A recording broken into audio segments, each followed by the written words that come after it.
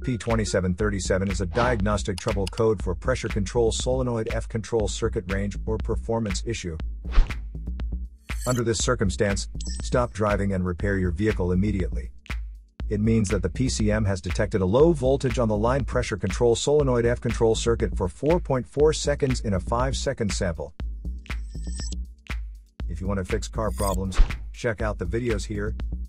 You're also welcome to leave comments below, our mechanic professionals will answer them shortly. Don't forget to like and subscribe to our channel. Thanks again for watching this video.